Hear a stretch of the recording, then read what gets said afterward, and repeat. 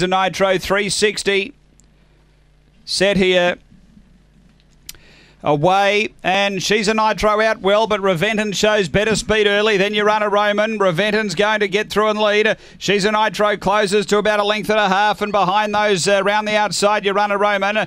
Then Flash of Hope, three away, Gustavo Fring. Then McLaren Chief, Fat Boy Norman, Zonda Bale down the back. Leader Reventon. She's a nitro's railing strongly, three quarters away, and five away. You run a Roman up to the bend. She's a nitro underneath Reventon. She's a nitro takes the lead, gets clear. It's four for the day for Butcher. She's a Nitro first, Reventon second, Urana Roman third, then Flash of Hope.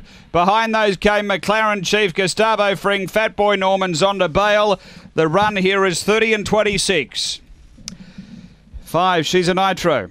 Um, didn't begin as quickly as Reventon, but uh, able to slide up along the rail and finish a little too well. It's five, four, eight, and two.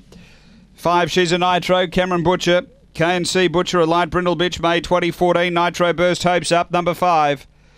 Uh, second four, Reventon, Michael Stewart, a black dog, November 2013. Barcia Bale, Pie Thief, and eight. Urana Roman, Paul Fagan, a blue dog, May 2014.